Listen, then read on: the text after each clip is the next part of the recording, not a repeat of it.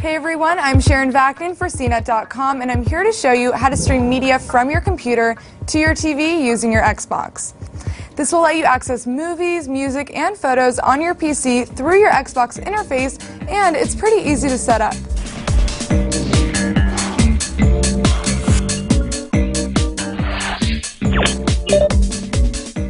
First, connect your Xbox to your home network. You can do this to either a wired or wireless connection as long as it's hooked up to the same network as your computer. Now, on your Xbox, go to My Xbox, then head over to System Settings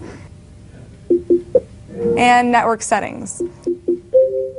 Choose the type of network connection and hit Test Xbox Live Connection.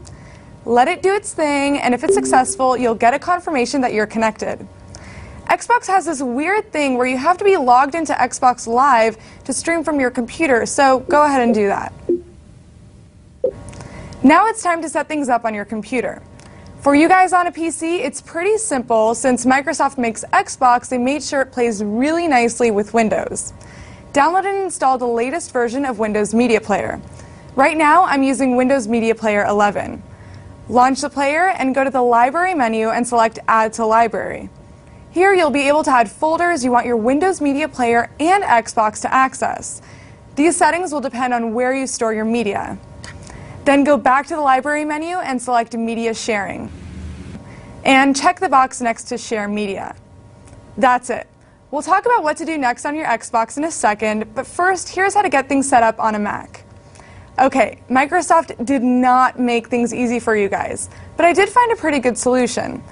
To make your Xbox communicate with your Mac, you'll need an application called Rivet. It's free to try, but 20 bucks for the full license. When you download and install Rivet, you'll see it show up as an icon on your top bar. Click it and go to Preferences. In this screen, you can manage the movies, music, and photos you want to see on your Xbox. You can even select iTunes playlists and your iPhoto library. Rivet isn't very good at transcoding, so make sure your files are in one of these formats. You may need to find a separate program to convert your files, but now your Mac should be ready to go. Okay, now that your computer is set up, you can start streaming on your Xbox. Press the Xbox button on your controller and scroll over to Media.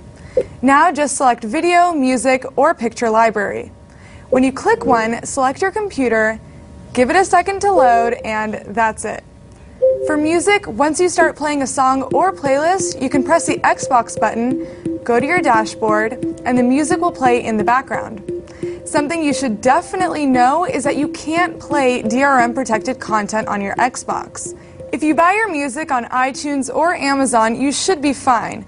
But if your content isn't playing, it's because it's protected, which sucks and might ruin this whole setup for some of you. Now that everything is working, you can kick back, watch your favorite movie, or listen to your favorite playlist within a game. Now, if you have any questions about this, ideas for another how to video, or just want to say what's up, come talk to me on my Facebook page.